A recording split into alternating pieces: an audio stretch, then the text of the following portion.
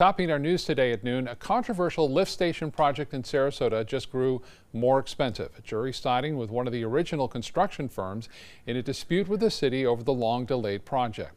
The cost of lift station 87 has gone from $9 million to now nearing $50 million with this latest setback costing the city another $7 million. ABC 7's Ray Collins has been covering the story for over 10 years and joins us with an update. Ray? Scott, a lot of numbers here. Add another $7 million to the overall cost of Lift Station 87. The city lost a suit to one of the original construction firms. The jury awarded the company about $600,000 due to the breach of contract, but the city spent more than $7 million on legal fees in that case. So, what will be the city's biggest sewage station is still going up in Luke Wood Park on Mountain 301. Here's an artist rendering for you.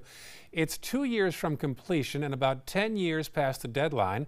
Again, the cost has gone from about 9 million to about $50 million. One former commissioner candidate says the city is fortunate, though, that many taxpayers aren't following this case. How did it ever get to this? 10 years late, still not done, turning what could be a beautiful park into a wastewater treatment plant. Um, this is exactly what happens when people aren't looking. It's the government that you get when you don't vote. We reached out to City Manager Tom Barwin for comment, but one of his spokesmen said he isn't available for comment this week. Scott?